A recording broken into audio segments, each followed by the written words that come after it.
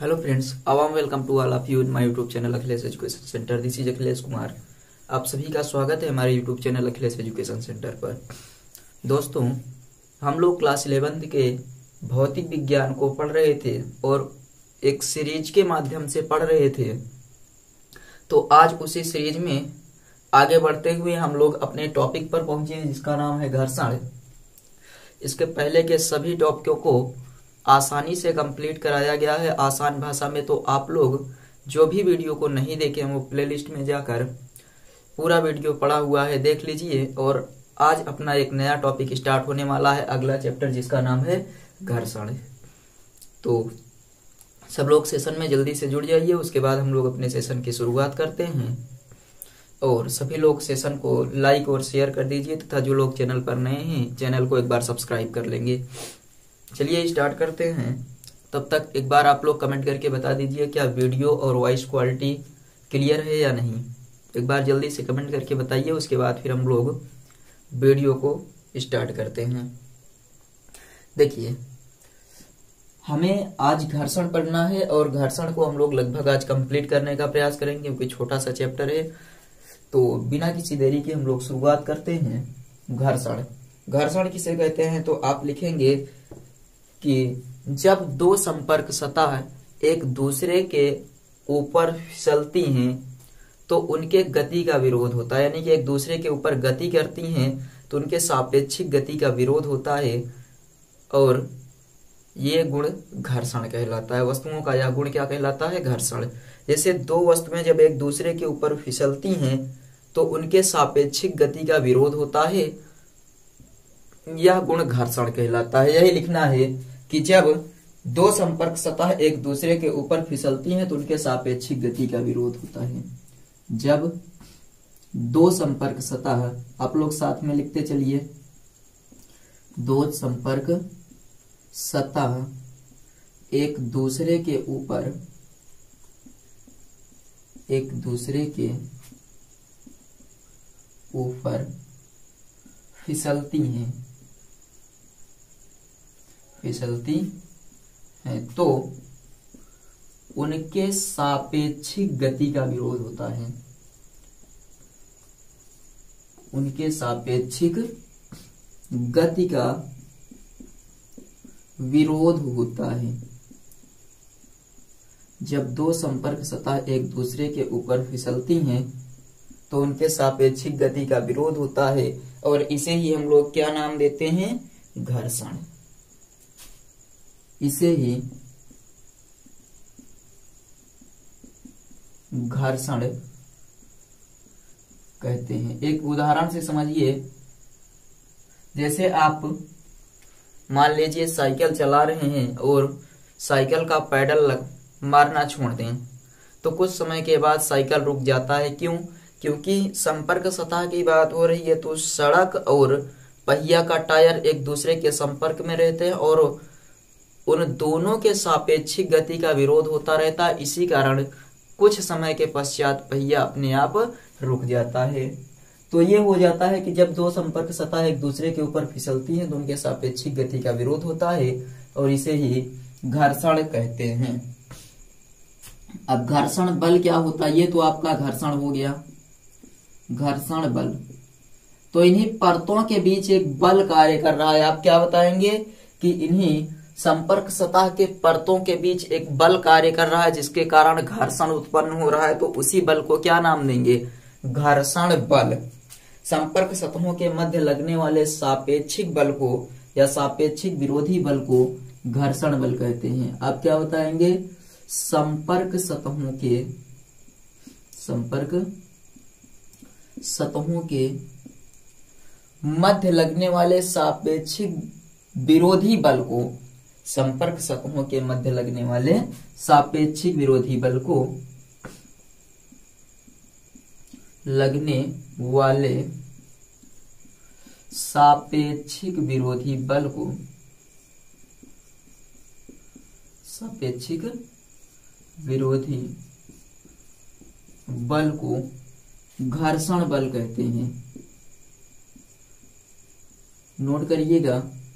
और I think आपको समझ में आया होगा कि घर्षण क्या होता है। तो जब दो संपर्क सतह एक दूसरे के ऊपर फिसलती हैं तो उनके सापेक्षिक गति का विरोध होता है और इसे घर्षण कहते हैं तथा संपर्क सतहों के मध्य लगने वाले सापेक्ष सापेक्षिक विरोधी बल को घर्षण बल कहते हैं।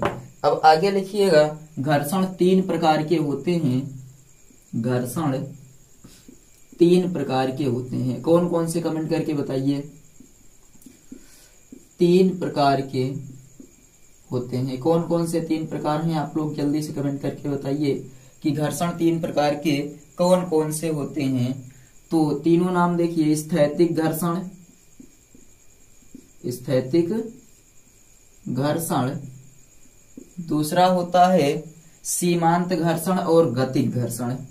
दूसरा क्या है? सीमांत घर्षण और गतिक घर्षण। घर्षण कितने प्रकार के होते हैं? तो घर्षण आपके तीन प्रकार के हो गए, स्थैतिक घर्षण, सीमांत घर्षण और गतिक घर्षण। और आपका ये जो गतिक घर्षण है, ये दो प्रकार का होता है। एक होता है सर्पी घर्षण। सर्पी घर्षण, दूसरा लोटनिक घर्षण।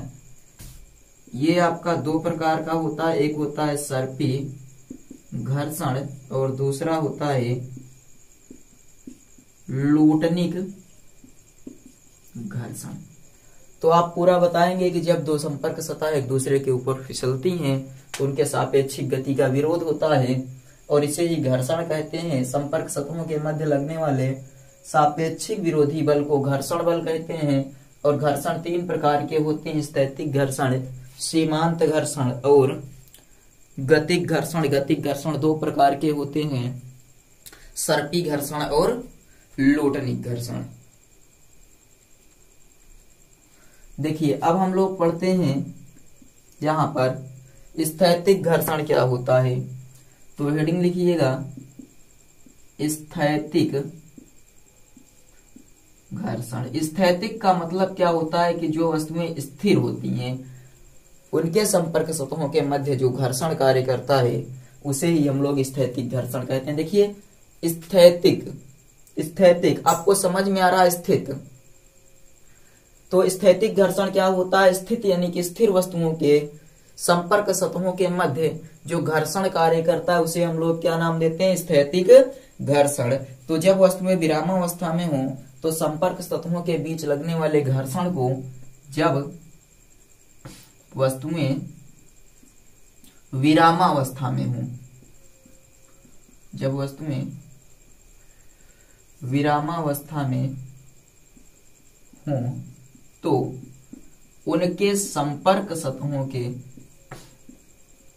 उनके संपर्क सतहों के मध्य लगने वाले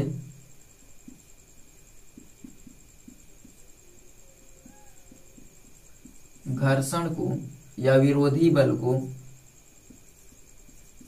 घर्षण को स्थैतिक घर्षण कहते हैं।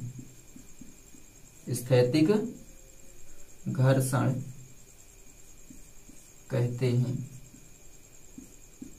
क्या बताएँगे जब वस्तुएँ विरामावस्था में हो तो उनके संपर्क सतहों के मध्य लगने वाले घर्षण को स्थैतिक घर्षण कहते हैं।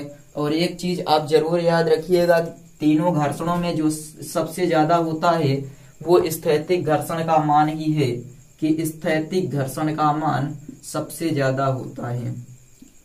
स्थैतिक घर्षण का मान सबसे ज़्यादा होता है। तो सबसे बड़ा घर्षण आपसे पूछा जाए या सबसे ज़्यादा कौन सा घर्षण होता है तो क्या बताएँगे कि स्थैतिक घर्षण का मान सबसे ज़्यादा होता है। इधर आप लोग नोट कर लिए, उसको नोट करते रहिए, इधर हम मिटाकर आपको आगे बता रहे हैं। एक बार देख लीजिए, जब दो संपर्क सतह एक दूसरे के ऊपर फिसलती हैं तो उनके सापेक्षिक गति का विरोध होता है, और इसे ही घर्षण कहते हैं।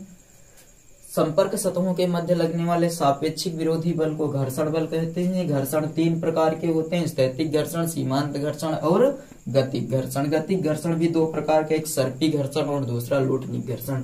स्थैतिक घर्षण क्या होता है? तो जब वस्तुएँ विरामावस्था में हो तो उनके संपर्क सतहों के मध्य लगने वाले घर्षण को स्थैतिक घर्षण कहते हैं।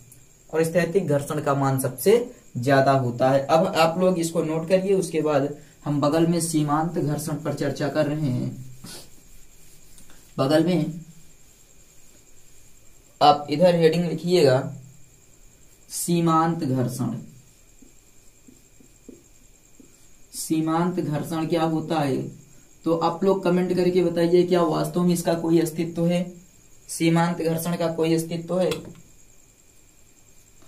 तो आप बताएँगे जो स्थैतिक घर्षण होता है, स्थैतिक घर्षण के अधिकतम मान को,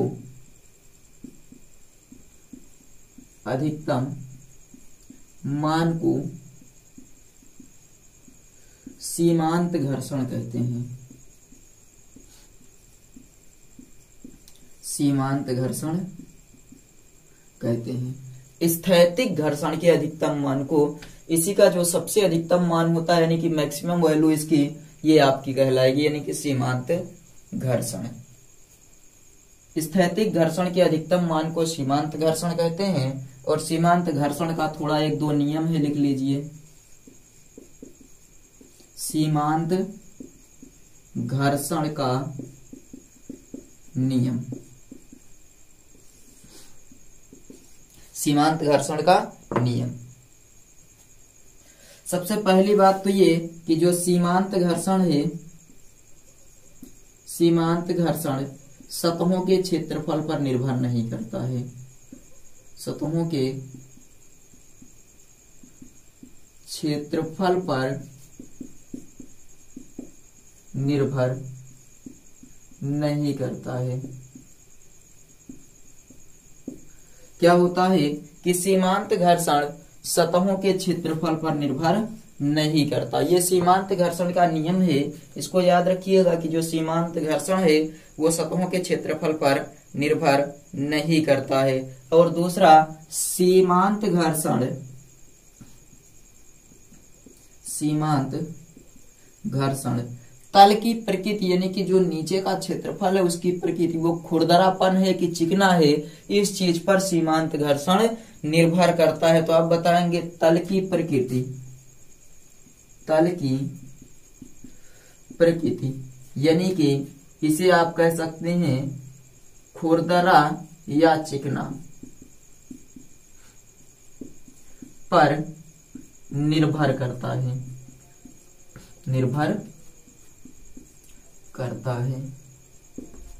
दो नियम आपको बताए गए कि सीमांत घर्षण सतहों के क्षेत्रफल पर निर्भर नहीं करता और दूसरा, सीमांत घर्षण तल की प्रकृति पर निर्भर करता है कि तल कैसा है, खुरदरा है या चिकना है। और तीसरा, आप यहाँ पर बताएँगे कि जो आपका स्थैतिक घर्षण होता है, अभिलंब प्रतिक्रिया आर के अनुक्रमानुपाती होता है। स्थैतिक घर्षण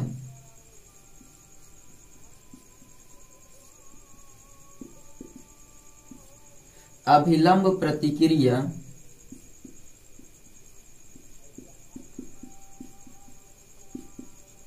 अभिलंब प्रतिक्रिया आर के अनुक्रमानुपाती होता है। इसको हम समझा रहे हैं। आप अभी एक काम करिए, इस दो नोट को ही लिखिए लिखिए। इसको अलग से लिखिए कि स्थैतिक घर्षण जो होता है, वो अभिलंब प्रतिक्रिया आर के अनुक्रमानुपाती होता है। नीचे आपको दिख रहा है। चलिए सब कुछ क्लियर है। तो यहाँ पर बताएँगे कि स्थैतिक घर्षण को हम लोग लिखते हैं यफ यस से यफ यस से और कह रहा है कि अभिलंब प्रतिक्रिया आर के अनुक्रमानुपाती होता है। तो एफ़ एस बराबर म्यूयस आर हो जाएगा। एफ़ एस बराबर क्या हो जाएगा? म्यूयस आर अब देखिए एफ़ एस आपका है स्थैतिक घर्षण आर है अभिलंब प्रतिक्रिया और म्यूएस को हम लोग कहते हैं घर्षण गुणांक। तीनों चीज़ यहाँ पर लिख लीजिए। जहाँ एफ़ क्या है? तो आपका है स्थैतिक घर्षण। इस पर सवालें आएँगे। स्थैतिक घर्षण। और म्यूयस क्या है? तो बताएँगे कि ये घर्षण गुणांक है। ये क्या है? घर्षण गुणांक। और आर क्या है? तो आर है आपका अभिलंब प्रतिक्रिया बल। अभिलंब प्रतिक्रिया बल आप कह सकते हैं। अभिलंब प्रतिक्रिया आर। यह समझ में आया कि स्थैतिक घर्षण अभिलंब प्रतिक्रिया के अनुक्रमानुपाती होता है। तो F S proportional R F S बराबर म्यूएस आर जहाँ एफ़ एस आपका स्थैतिक घर्षण है म्यूएस आपका घर्षण गुणांक है, और आर क्या है?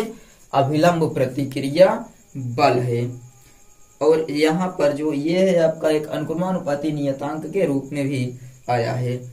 अगला आप लिखेंगे, यहीं पर, ऊपर की ओर चलिए, यहाँ देख लेते हैं। इतना समझ में आया या नहीं? अगला इसी का अगला पॉइंट है, जो आप नोट में लिख रहे थे सीमांत घर्षण का नियम। पहला और दूसरा हो गया, तीसरा चलिए देखते हैं। तीसरा, स्थैतिक घर्षण का कोई अपना अस्तित्व नहीं होता है। किसका कोई अपना अस्तित्व नहीं होता है। तो आप बताएँगे, स्थैतिक घर्षण। तीसरा लिखिएगा कि स्थैतिक घर्षण का कोई अपना अस्तित्व नहीं होता है। कोई अपना अस्तित्व नहीं होता है। स्थैतिक घर्षण का कोई अपना अस्तित्व नहीं होता है। तीन नियम सीमांत घर्षण सतहों के क्षेत्रफल पर निर्भर नहीं करता। सीमांत घर्षण तल की प्रकृति पर निर्भर करता। है स्थैतिक घर्षण अवलंब प्रतिक्रिया हर के अनुक्रमानुपाती होता है और स्थैतिक घर्षण का अपना कोई अस्तित्व नहीं होता है। सीमांत घर्षण में जो वस्तु होती है वो गतिशील अवस्था होने की अवस्था में आ जाती है, परंतु गतिशील नहीं होती। याद रखिएगा कि जो सीमांत घर्षण होता है सीमांत घर्षण में वस्तु गतिशील होने की अवस्था में आ जाती है, परंतु गतिशील नहीं रहती है। सीमांत घर्षण की अवस्था में या सीमांत घर्षण में वस्तु गतिशील होने की अवस्था में आ जाती है। आपको बताना है कि सीमांत घर्षण में वस्तु गतिशील होने की अवस्था में आ जाती है। होने की अवस्था में आ जाती है। परंतु गतिशील नहीं रहती। परंतु गतिशील नहीं रहती है। सीमांत घर्षण में वस्तु गतिशील होने की अवस्था में आ जाती है, परंतु गतिशील नहीं रहती है। ये आपको बताए गए इसको अच्छे से नोट कर लीजिए। अब हम लोग थोड़ा घर्षण कोण पर चर्चा कर लेते हैं। उधर का आप लोग नोट करते रहिए, इधर हम लोग थोड़ा सा घर्षण कोण पर चर्चा कर लेते हैं। तब तक एक बार आप लोग कमेंट करके बताइए, घर्षण गुणांक को किससे प्रदर्शित करते हैं? या फिर आपको ये बताया गया कि स्थैतिक घर्षण अभिलंब प्रतिक्रिया आर के अनुक्रमानुपाती होता है। इसको जल्दी से लिखकर कमेंट बॉक्स में लिखकर बताइए। या इसी चीज़ को लिखकर जल्दी से शेयर करिए कमेंट बॉक्स में। तो इसको लिखकर शेयर करिए। आप आगे आप लोग समझिएगा घर्षण कोण क्या होता है। तो शेयर कर रहे हैं लिखकर या नहीं जल्दी से बताइए। और एक बार सेशन को शेयर कर दीजिए। जो लोग नए हैं चैनल को सब्सक्राइब कर लीजिए। स्थैतिक घर्षण और अभिलंब प्रतिक्रिया के बीच के कोण को घर्षण कोण कहते हैं। परिभाषा क्या होगी? तो स्थैतिक घर्षण। परिभाषा क्या बनाएँगे आप? स्थैतिक घर्षण तथा अभिलंब प्रतिक्रिया।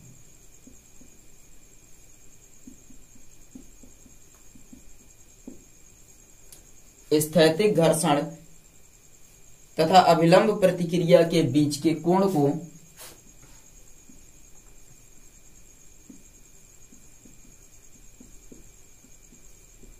क्या नाम देते हैं तो आप बताएँगे?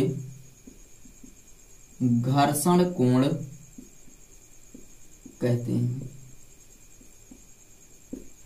स्थैतिक घर्षण और अभिलंब प्रतिक्रिया के बीच के कोण को घर्षण कोण कहते हैं।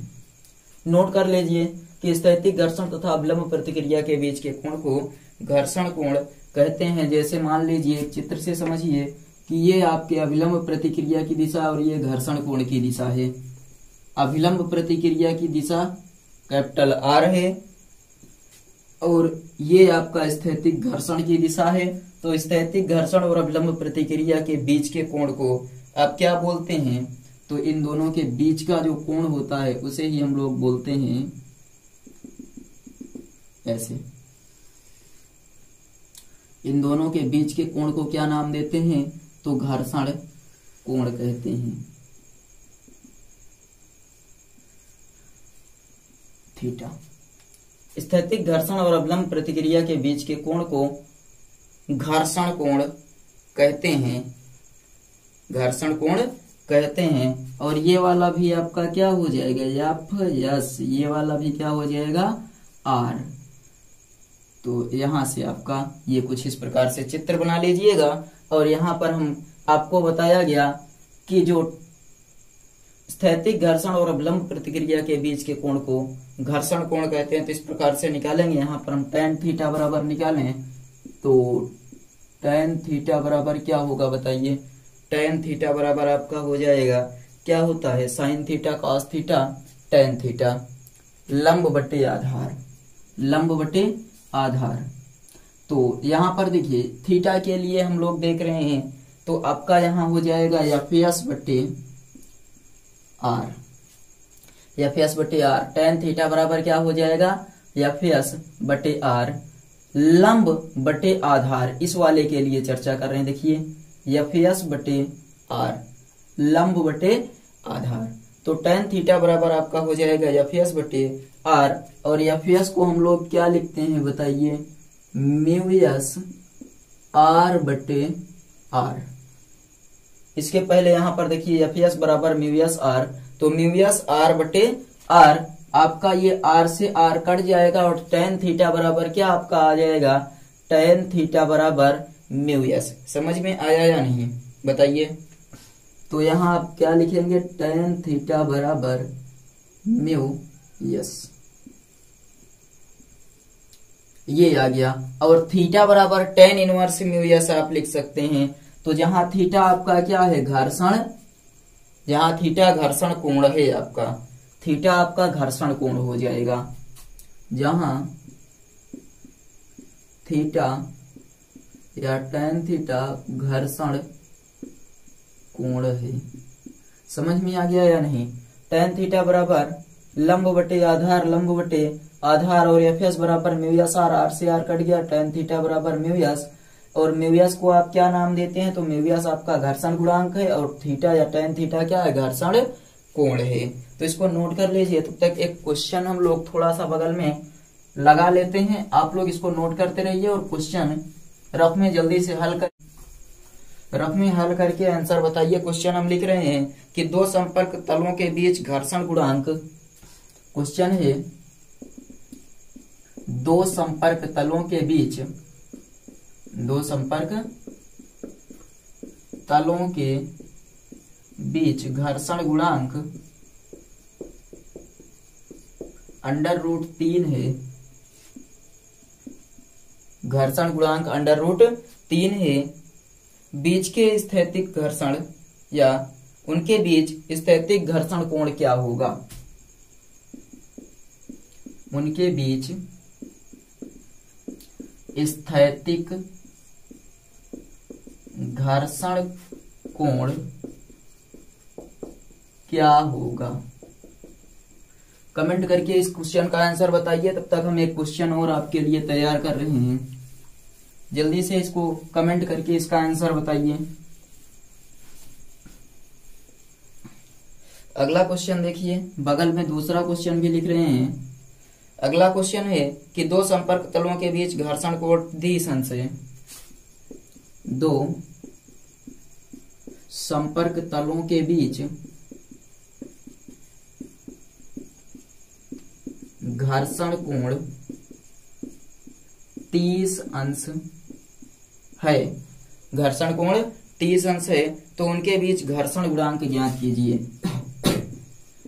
उनके बीच घर्षण गुणांक ज्ञात कीजिए। जल्दी से दोनों क्वेश्चन बताइए। यहाँ दो संपर्क तलों के बीच घर्षण गुणांक दिया गया। घर्षण गुणांक को हम लोग किससे लिखते हैं? म्यूयस से लिखते हैं। और हमें स्थैतिक घर्षण कोण ज्ञात करना है थीटा का मान ज्ञात करना है। तो क्या करेंगे? आपको फार्मूला पता है कि जो सूत्र होता है, वो होता है टेन थीटा बराबर म्यूयस म्यूयस का मान कितना दिया गया है? तो टेन थीटा बराबर अंडर रूट तीन दिया गया है। और अंडर रूट तीन टेन में किसका मान होता है? तो टेन साठ अंश। अर्थात थीटा बराबर आपका क्या आ जाएगा? साठ अंश। यहाँ पर जो स्थैतिक घर्षण कोण हो जाएगा, वो कितने डिग्री तो वो हो जाएगा साठ डिग्री। इसमें से कितने लोगों ने मैसेज किया? एक लोग भी नहीं। दूसरा देखिए, यहाँ पर दिया है थीटा का मान। घर्षण कोण है। तो फार्मूला पता है टेन थीटा बराबर म्यूयस होता है। और टेन थीटा थीटा के स्थान पर कितना है? तो तीस अंश बराबर म्यूयस और म्यूयस बराबर क्या हो जाएगा? टेन तीस अंश का मान एक बटे रूट तीन। तो ये हो जाएगा आपका म्यूयस बराबर एक बटे रूट तीन। नोट कर लीजिए। इसको जल्दी से नोट कर लीजिए, उसके बाद हम लोग गति घर्षण पर चर्चा करते हैं। चलिए, अब आप लोग नोट कर लिए होंगे तो अब हेडिंग लिखिएगा गतिक घर्षण। क्वेश्चन नोट कीजिए। अगली हेडिंग है आपका। गतिक घर्षण। गतिक घर्षण क्या होता है? तो जब वस्तुएँ गतिशील होती हैं तो उनके संपर्क सतहों के मध्य जो घर्षण कार्य करता है, उसे हम गति घर्षण नाम देते हैं। यही हमें लिखना है कि जब वस्तुएँ गतिशील हों तो उनके संपर्क सतह के मध्य लगने वाले घर्षण को गति घर्षण कहते हैं। जब वस्तुएँ गतिशील हों, जब वस्तुएँ गतिशील हों तो उनके गतिशील हों तो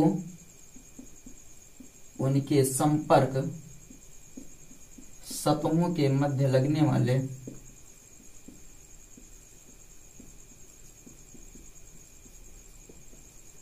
घर्षण को, संपर्क सतहों के मध्य लगने वाले घर्षण को क्या नाम देते हैं? गतिक घर्षण कहते हैं। गतिक घर्षण कहते हैं। जब वस्तुएँ गतिशील हों तो उनके संपर्क सतहों के मध्य लगने वाले घर्षण को गतिक घर्षण कहते हैं। और गतिक घर्षण भी आपका दो प्रकार का होता है आपको बताया गया अभी कि गतिक घर्षण कितने प्रकार के होते हैं तो दो प्रकार का होता है। गतिक घर्षण कितने प्रकार का होता है तो गतिक घर्षण दो प्रकार का होता है। कौन कौन सा तो आप हेडिंग आप जल्दी से कमेंट करके बताइए, गतिक घर्षण दो प्रकार का कौन कौन सा होता है आपको बताया गया। एक सर्पी और दूसरा लोटनिक या विल्लन घर्षण। तो चलिए, दो प्रकार का होता है कौन कौन सा। तो पहला वाला ही लिखते हैं सबसे पहले, नंबर एक, सर्पी घर्षण। सर्पी घर्षण। अब बताइए सर्पी घर्षण तो इससे स्पष्ट हो रहा है, सर्प किस प्रकार से चलता है बताइए। सर्पी घर्षण आप बताइए सर्प कैसे चलता है। सरकते हुए आगे बढ़ता है या पैर से। तो सर्पी घर्षण उसी प्रकार से होगा, जैसे सर्प चलता है कि सरकती हुई वस्तु या फिसलती हुई वस्तु के संपर्क सतहों के मध्य जो घर्षण कार्य करता है उसे सर्पी घर्षण कहते हैं। बिल्कुल सर्प की तरह। तो आप लिखेंगे, सरकती हुई या फिसलती हुई वस्तुओं के संपर्क सतहों के मध्य, सरकती हुई या फिसलती हुई, सरकती हुई या फिसलती हुई वस्तुओं के संपर्क सतहों के मध्य, वस्तुओं के संपर्क सतहों के मध्य लगने वाले घर्षण को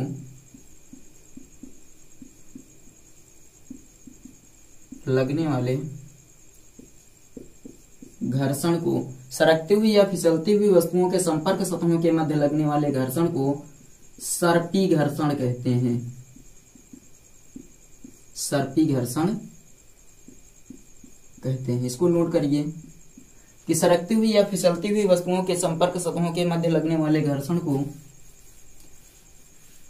सर्पी घर्षण कहते हैं। अगला क्या था? तो अगला था आपका लोटनिक घर्षण। घर्षण का दूसरा प्रकार कौन सा था? तो दूसरा था लोटनिक घर्षण।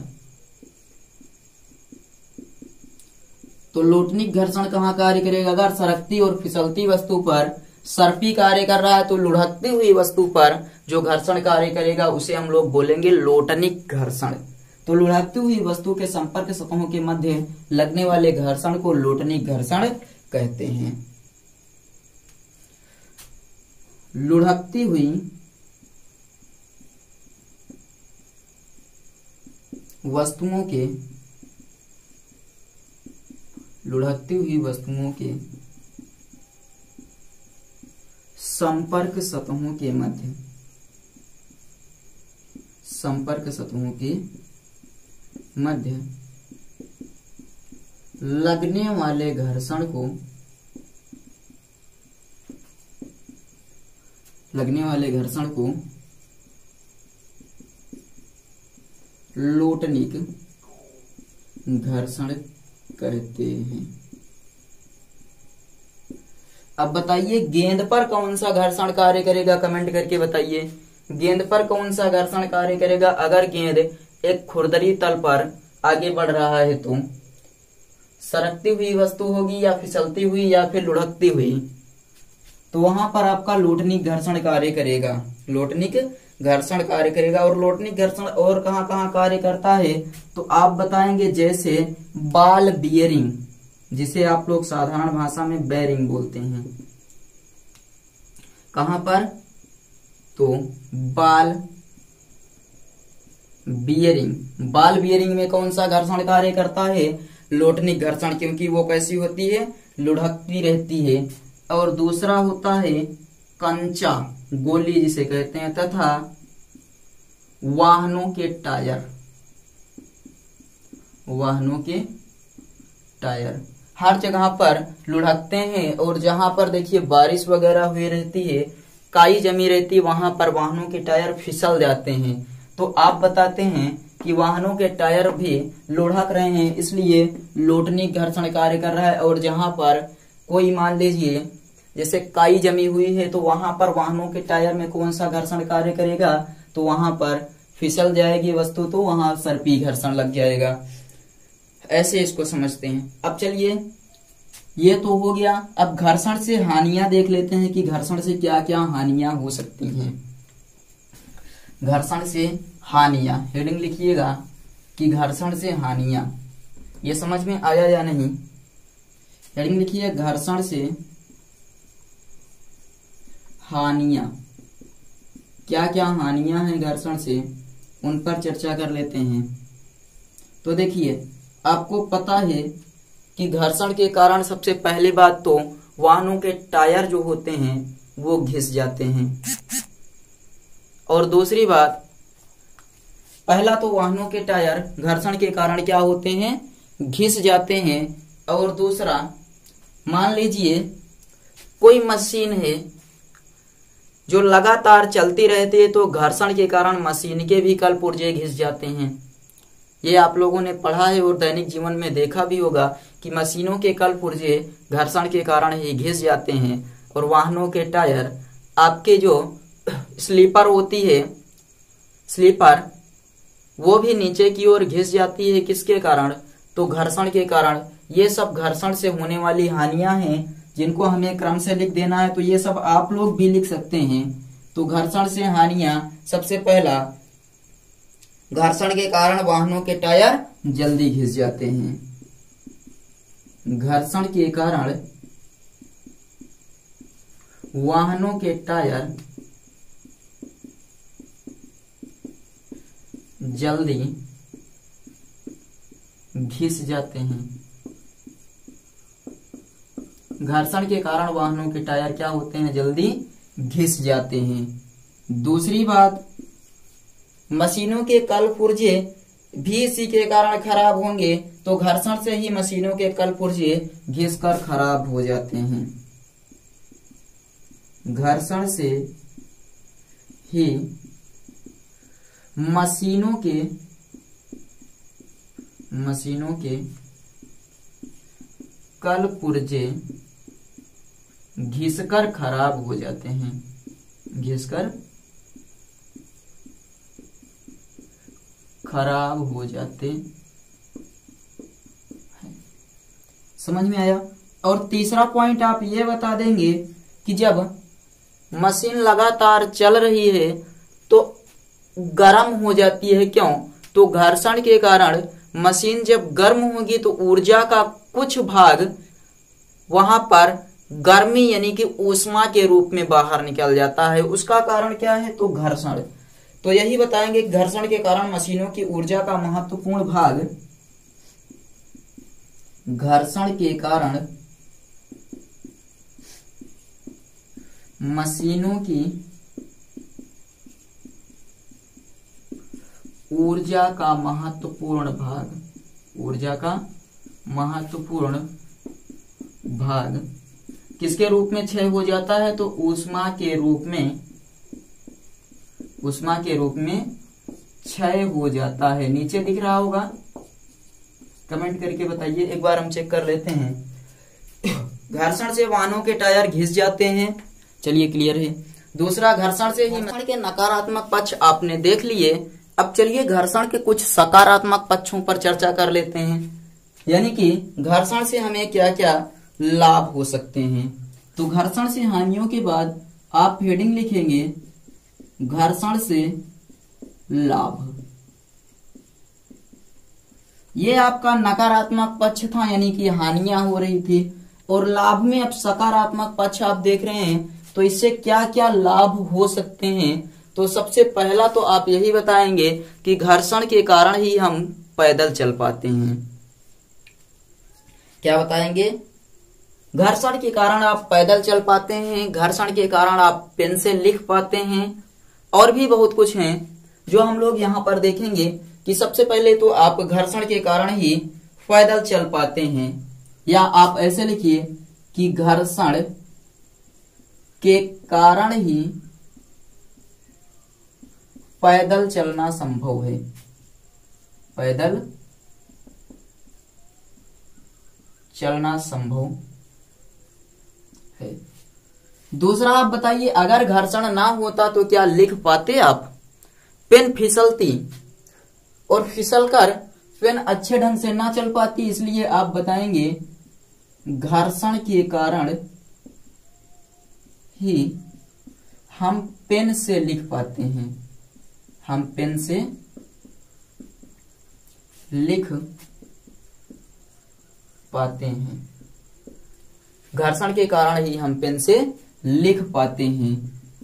पहला हो गया कि घर्षण के कारण पैदल चलना संभव है और घर्षण के कारण हम पेन से लिख पाते हैं और घर्षण के कारण ही वाहनों के टायर फिसलते नहीं हैं। याद रखिएगा। घर्षण के कारण ही वाहनों के टायर फिसलते नहीं हैं। घर्षण के कारण ही वाहनों के टायर फिसलते नहीं है। ये सकारात्मक पक्ष हो गया कि घर्षण के कारण पैदल चलना संभव है। घर्षण के कारण ही पेन से लिख पाना संभव है और घर्षण के कारण ही वाहनों के टायर फिसलते नहीं हैं। अब घर्षण कम करने की कुछ विधियाँ होंगी, कुछ बढ़ाने की विधियाँ होंगी। कि घर्षण को कम कैसे किया जा सकता है, घर्षण को बढ़ाया कैसे जा सकता है, इन पर थोड़ी सी चर्चा कर लेते हैं। तो आप हेडिंग लिखिएगा, घर्षण कम करने की विधियाँ। घर्षण कम करने की विधियाँ। घर्षण कम करने की क्या क्या विधियाँ हो सकती हैं? अभी आपको बताया गया कि बाल बियरिंग के प्रयोग से घर्षण को हम लोग परिवर्तित कर सकते हैं। बाल बियरिंग के प्रयोग से सर्पी घर्षण को लोटनिक घर्षण में पर, क्या कर सकते हैं? परिवर्तित कर सकते हैं। तो यहाँ पर सबसे पहला लिखेंगे बाल बियरिंग के प्रयोग द्वारा। बाल बियरिंग के प्रयोग द्वारा। बाल बियरिंग के प्रयोग द्वारा।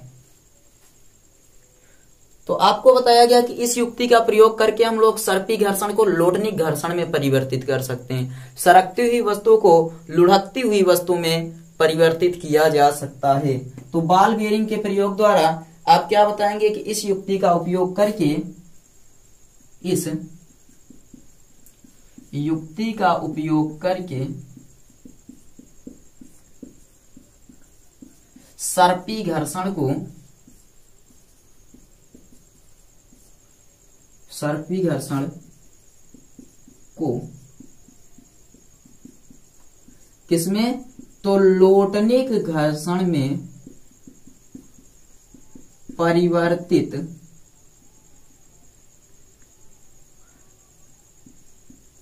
परिवर्तित। सर्पी घर्षण को किसमें परिवर्तित किया जा सकता है? लोटनिक घर्षण में परिवर्तित किया जा सकता है। ऐसा क्यों किया जाता है बताइए। आप जानते हैं क्योंकि सर्पी घर्षण लोटनिक घर्षण से अधिक होता है। यानी कि आप इसका उल्टा भी बता सकते हैं क्योंकि लोटनिक घर्षण का मान सर्पी घर्षण की तुलना में बहुत कम होता है। तो इस युक्ति का उपयोग करके सर्पी घर्षण को लोटनिक घर्षण में प्रयोग किया या परिवर्तित किया जा सकता है, क्योंकि लोटनिक घर्षण सर्पी घर्षण की तुलना में बहुत कम होता है, क्योंकि लोटनिक घर्षण सर्पी घर्षण की तुलना में, सर्पी घर्षण की तुलना में बहुत कम होता है। इस युक्ति का उपयोग करके सर्पी घर्षण को लोटनिक घर्षण में परिवर्तित किया जा सकता है क्योंकि लोटनिक घर्षण सर्पी घर्षण की तुलना में बहुत कम होता है, अतः बाल बियरिंग का प्रयोग करके संपर्क सतहों के मध्य घर्षण काफ़ी कम किया जा सकता है। अतः बाल बियरिंग के प्रयोग से, बाल बियरिंग के प्रयोग से घर्षण को काफ़ी कम किया जा सकता है, या संपर्क सतहों के मध्य, संपर्क सतहों के मध्य घर्षण काफ़ी कम किया जा सकता है। इस युक्ति का उपयोग करके सर्पी घर्षण को लोटनिक घर्षण में परिवर्तित किया जाता है, चूँकि लोटनिक घर्षण सर्पी घर्षण की तुलना में बहुत कम होता है। अतः बाल बियरिंग के प्रयोग से संपर्क सतहों के मध्य के घर्षण को काफ़ी ज़्यादा क्या किया जा सकता है?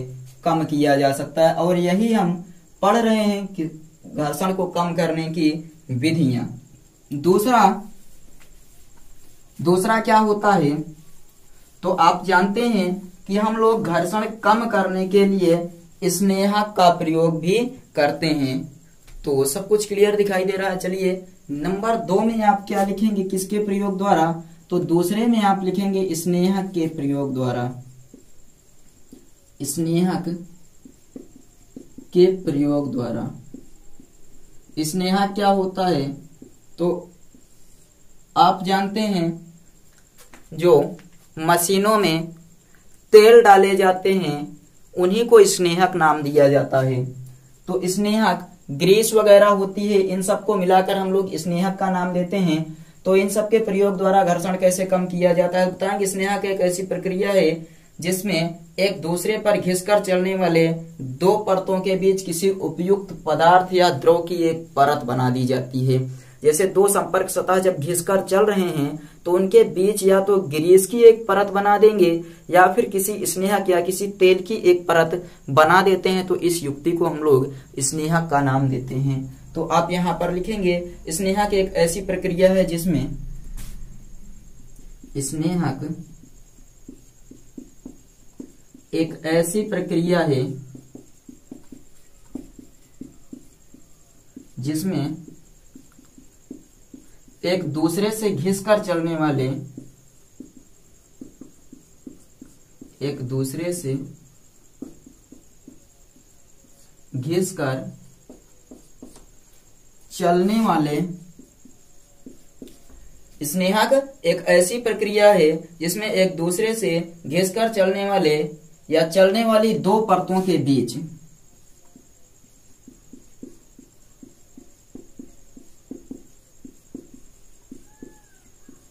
किस किस चीज़ की? या तो ग्रीस की, या फिर किसी विशेष द्रव की एक परत बना दी जाती है। बीज ग्रीस या उपयुक्त तरल पदार्थ की एक परत बना दी जाती है। ये स्नेहा की प्रक्रिया होती है।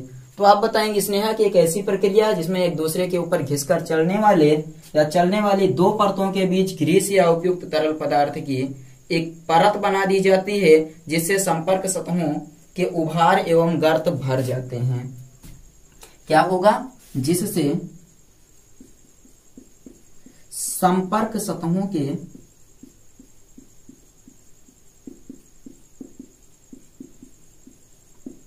उभार व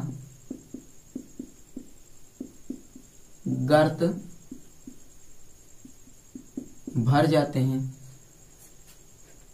देखिए, स्नेहा की एक ऐसी प्रक्रिया जिसमें एक दूसरे के ऊपर चलकर या एक दूसरे के ऊपर चलने वाली, घिसकर चलने वाली दो परतों के बीच या तो ग्रीस लगाएँगे या उपयुक्त तरल पदार्थ, जिसे इंजिन आयल कहते हैं, कि एक परत बना दी जाती है जिससे संपर्क सतहों के उभार एवं गर्त भर जाते हैं तथा सतह अपेक्षाकृत अधिक चिकनी हो जाती है तथा सतह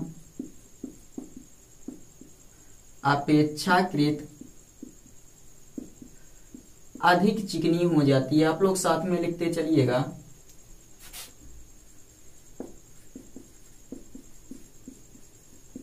सतह क्या होती है?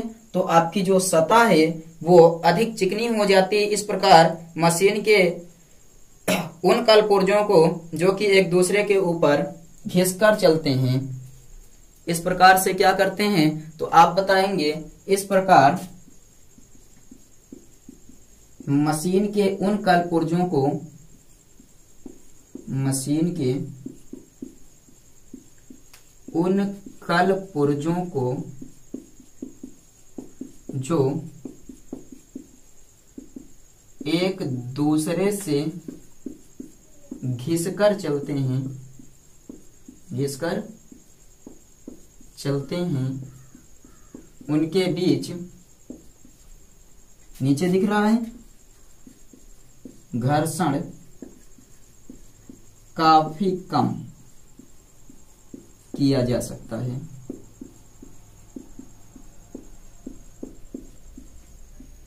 घर्षण काफ़ी कम किया जा सकता है। तो स्नेहा की एक ऐसी प्रक्रिया है जिसमें एक दूसरे से घिसकर चलने वाले, चलने वाली दो परतों के बीच ग्रीस या उपयुक्त तरल जैसे इंजिन ऑयल की एक परत बना दी जाती है, जिससे उसमें जो संपर्क सतह होती है उसके बीच आए उभार एवं गर्त भर जाते हैं और सतह अपेक्षाकृत अधिक चिकनी हो जाती है। इस प्रकार मशीन के उन कल पुर्जों को जो एक दूसरे से घिस चलते हैं, उनके बीच घर्षण काफ़ी कम किया जा सकता है।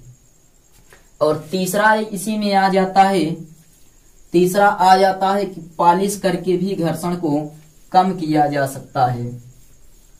पालिश करके भी घर्षण को क्या कर सकते हैं? तो कम कर सकते हैं। तो तीसरा आप लिखिएगा। तीसरा पॉइंट पालिश द्वारा। पालिश करके। पॉलिश करके किसी चीज़ को चिकना बनाया जाता है और जब कोई चीज़ चिकना बनेगा तो उस पर घर्षण क्या होगा? कम हो जाएगा। तो उसी चीज़ को हमें बताना है कि संपर्क सतहों को जैसे जैसे चिकना किया जाता है, उनके बीच का जो घर्षण होता है, वो क्या होता है? कम होने लगता है। वैसे वैसे घर्षण क्या होने लगता है?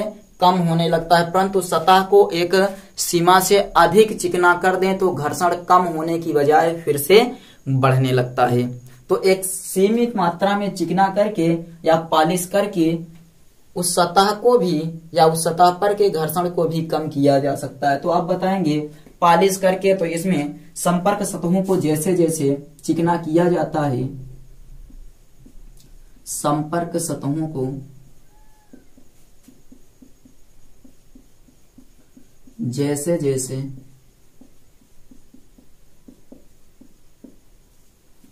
चिकना किया जाता है। वैसे वैसे क्या होगा? घर्षण कम होना शुरू हो जाता है। तो आप बताएँगे कि संपर्क सतहों को जैसे जैसे चिकना किया जाता है, उनके बीच घर्षण बल वैसे वैसे कम होता जाता है। उनके बीच घर्षण बल वैसे वैसे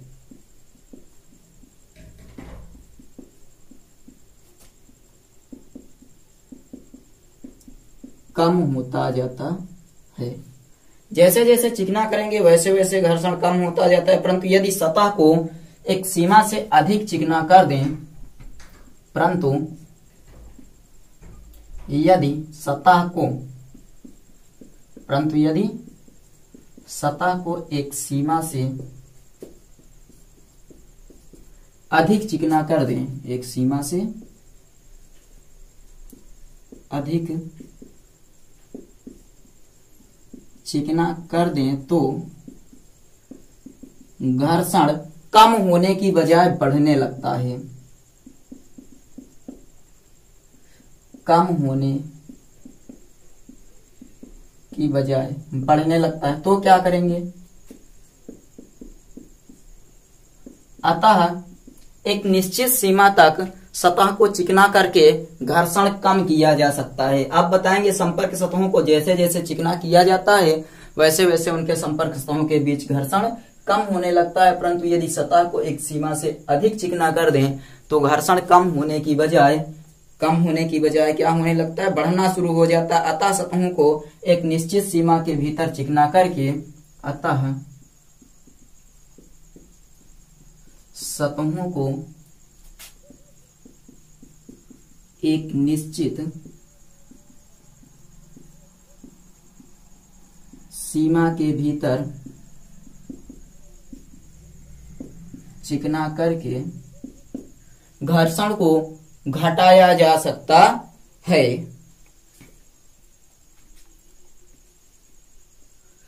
घर्षण बल को कम किया जा सकता है। ये है टॉपिक सबसे पहला आप लोग क्या करेंगे कि बाल बियरिंग के प्रयोग से घर्षण कम कर सकते हैं। कैसे? इस युक्ति के उपयोग से सर्पी घर्षण को लोटनिक घर्षण में परिवर्तित करते हैं, क्योंकि लोटनिक घर्षण सर्पी घर्षण की तुलना में बहुत कम होता है, इसलिए बाल बियरिंग के प्रयोग से संपर्क सतह के मध्य घर्षण कम किया जा सकता है।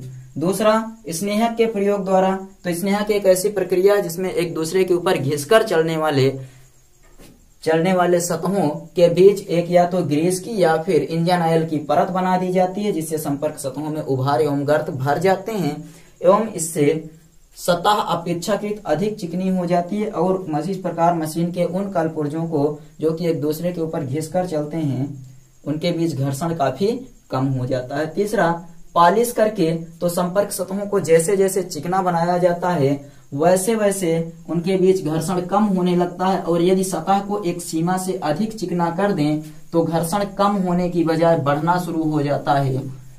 कम होने की बजाय बढ़ना शुरू हो जाता है, अतः सतहों को एक निश्चित सीमा तक चिकना करके उनके बीच के घर्षण को काफ़ी कम किया जा सकता है। अब घर्षण बढ़ाने की छोटी सी दो विधियाँ हैं, इनको देख लीजिए। घर्षण बढ़ाने की विधियाँ।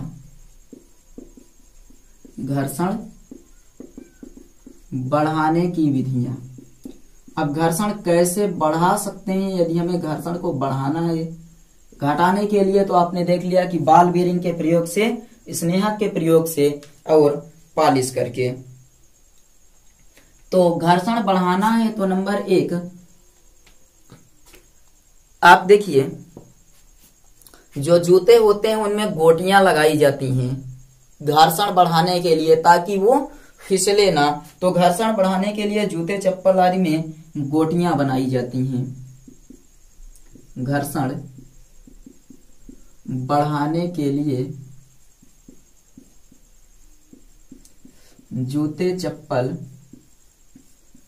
आदि में गोटियाँ बनाई जाती हैं। गोटियाँ,